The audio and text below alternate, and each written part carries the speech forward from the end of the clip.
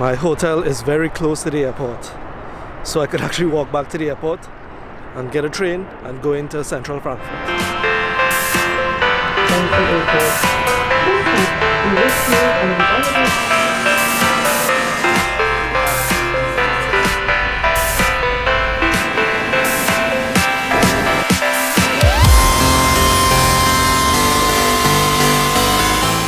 Main train station in Frankfurt. I'm not going to try to pronounce the actual name. I'm not going to try to pronounce a lot of things in German. Time to just walk about the city.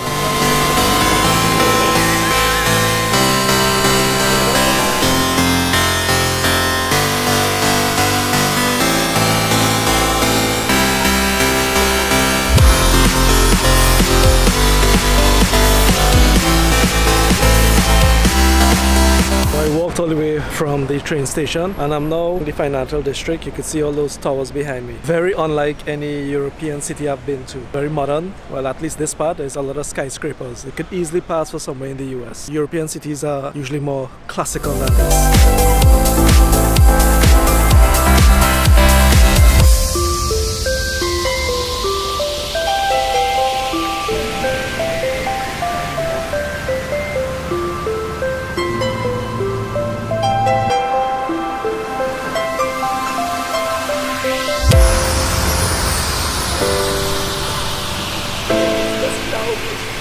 I'm on a bridge over the Main or Main River. And uh, again, one of the things about Frankfurt is that it really doesn't look like a European city. This is a good example. Look at the skyline. When I now came out the main train station in the main part of the city, I was a bit taken aback because, how do I put it? As soon as you walk out, man, that seems a bit bit rough. Saw some characters. It didn't feel as safe. But thankfully, the further I walked away from there, it's gotten really nice. I guess it's that little area.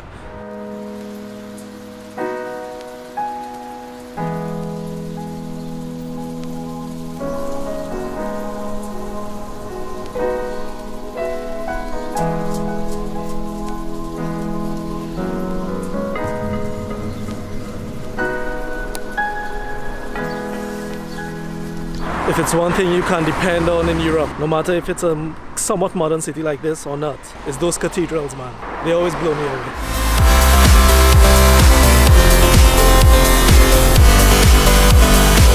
And there it is, guys, famous Frankfurt skyline. And I'm crossing back over to the other side of the Main River, Main River.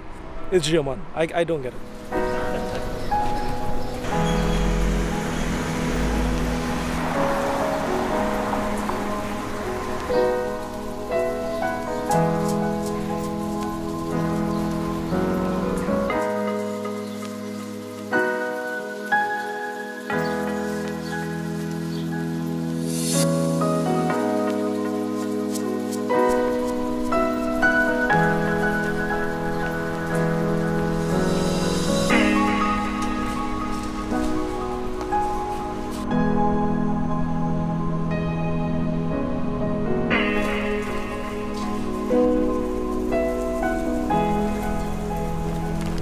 That cathedral I just visit, I saw that from a distance, the top of it. And I was chasing that for a long time. The good thing is I ended up discovering a whole lot more. In trying to find that cathedral, I found the uh, Main River, another cathedral, and it was just fantastic. So sometimes not having a plan is the best plan. My graphic design friends will understand.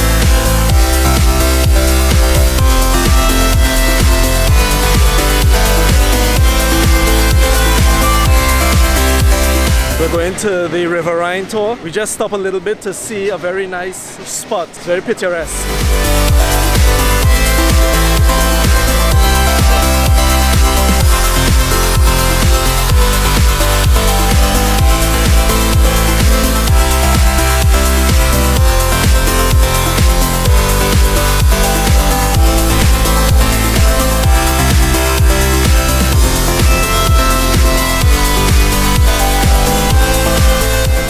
That's what we're taking the tour in. Not bad.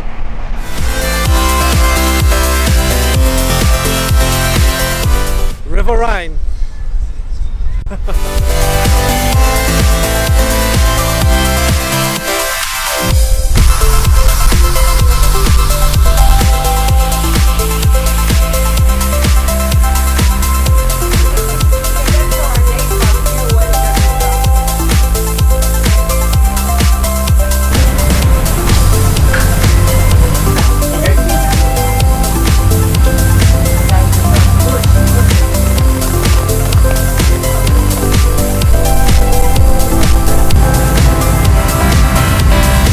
the, the riverboat on the River Rhine, as you can see behind me, and we're passing a lot of these little towns and we're seeing a lot of castles and whatnot. It's very interesting. The rain started to fall, so we had to kind of scramble a little bit. But still a lot of fun and the scenery man, it's just fantastic. You would see a lot of these barges. You know the river is a big commercial shipping lane. It's not just for cruising and sightseeing. A lot of material and whatnot is shipped up and down the river.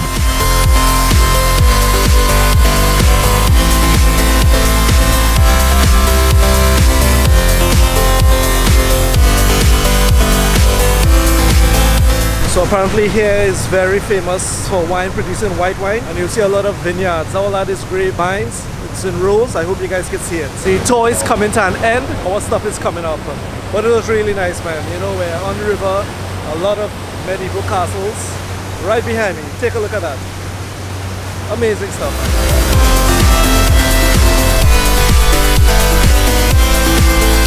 This restaurant and hotel, apparently it's one of the, if not the oldest hotel in Germany, over 400 years old. Very, very authentic architecture. We're gonna have dinner there. So you see the decoration in this restaurant, very unique.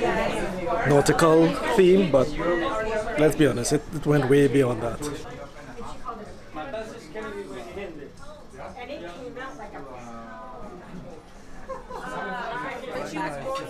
It is, it is. I'm from Mexico. I'm from Mexico. Yeah, she just finished her year in Chicago, but they had Guadalajara. Finished dinner, on to wine tasting. Thanks, Celia. My lady has that? One is.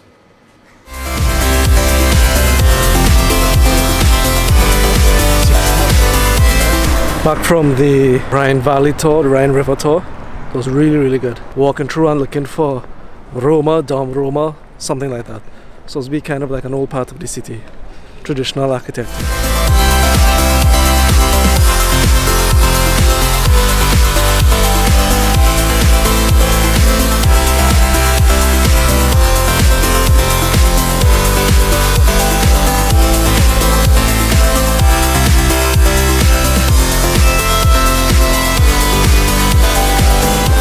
It's a really nice part of the city.